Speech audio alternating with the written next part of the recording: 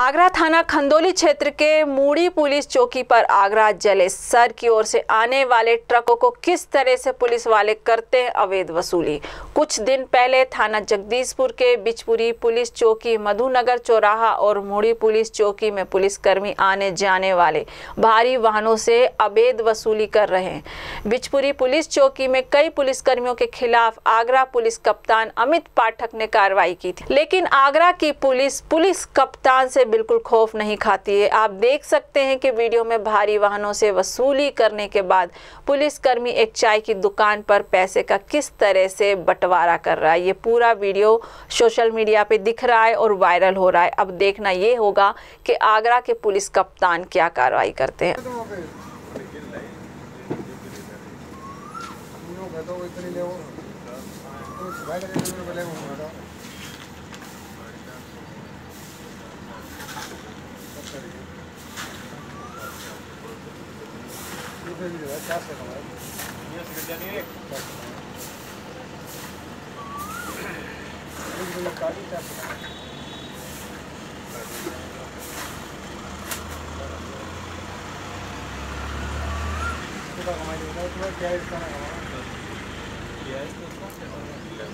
आगरा से फरहान खान की रिपोर्ट।